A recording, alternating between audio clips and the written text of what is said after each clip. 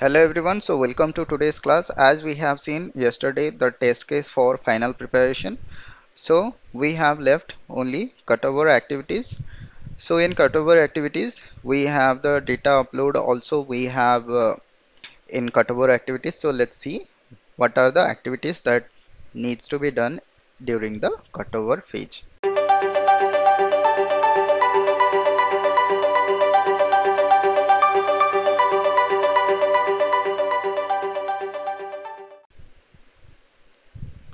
So cutover activities, so basically what mean by cutover activity, we are cutting our existing system and we are starting our new SAP system. We are working, start working in SAP system. So that is called as cutover activities. So in that you need to confirm that everything that is performed in your legacy system or your existing non-SAP system that is transferred to your SAP system. So first make sure all of the transport requests are transport to the production productive system. So every configuration you have done every uh, master data you have every transactional data you have in your um, like uh, existing system or your old system needs to be transferred to your production system so that you can start working on the production system.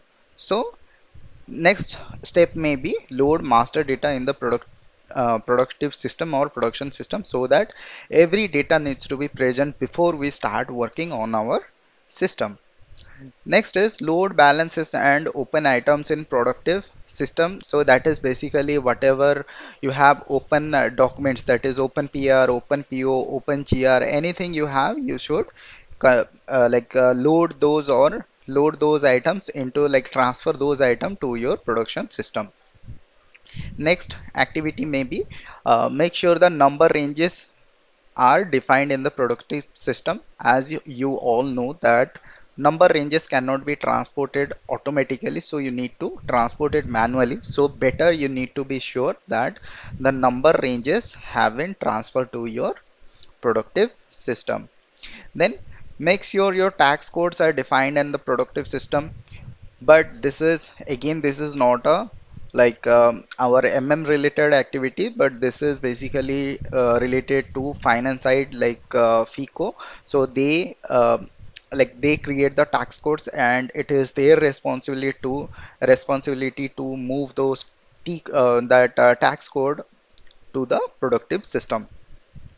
So next is make sure operating system environment is properly generated. Maybe um, Uh, means you should check with the basis team or the technical team that your system is functionally correctly and your system is performing well and there should be no performance lag or there should be no performance issues while your workers are working on the productive productive system there should be no lag. Like at a time how much um, users are working in the warehouses they are doing the perform uh, they are doing the activities they are doing the performances in the plants and all the things that should not like they are putting the um, documents like they are creating some PO they are creating some production order or they are doing some GR they are doing some any activities they are doing so that should not be like creating any lag in the system that you need to be sure about that so that is again it is not our responsibility but we need to check if there is something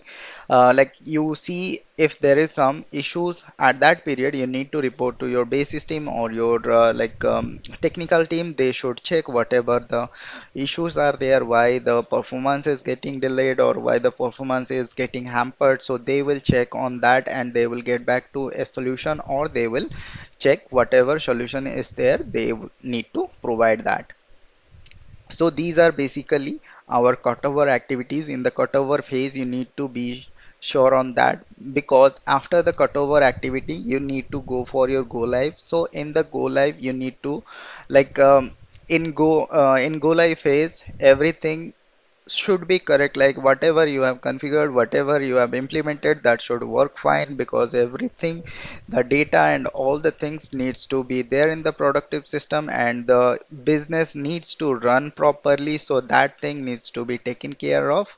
So that is all about cutover activities So in cutover activities, basically we don't have much things to do other than whatever activities that we have already done in the realization phase.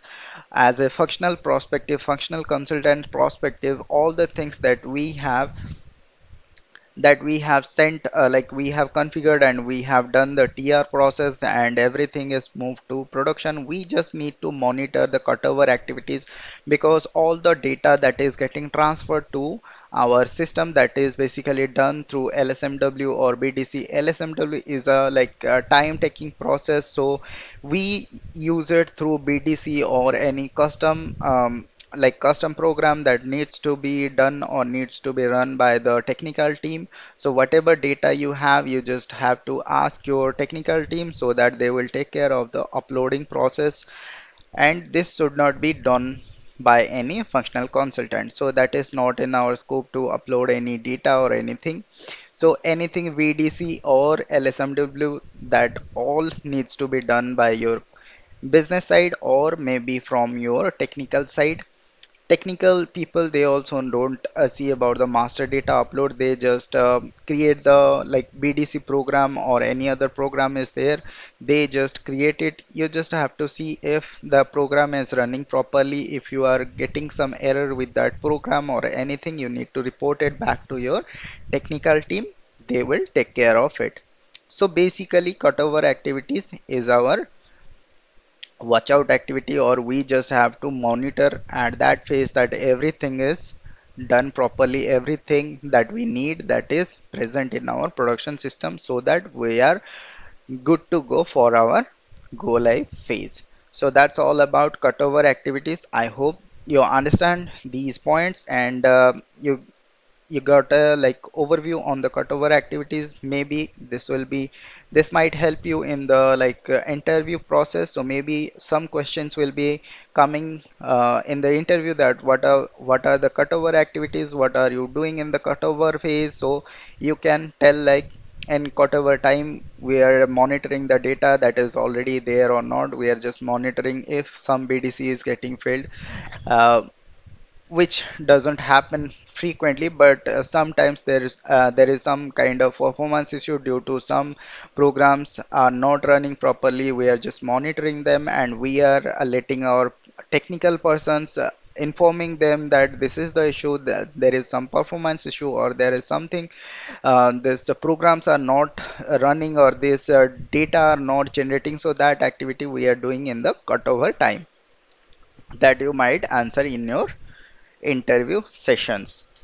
So that's all about cutover activity. If you have any doubt on cutover activities, please do let me know in the comments. And if you like this video, if you like the information in the video, so please do like the video. And if you are new to our channel or you have not yet subscribed to our channel, please do subscribe it. So that's all for today's class. Let's meet tomorrow. Till then, take care. Bye bye and Jai Hind.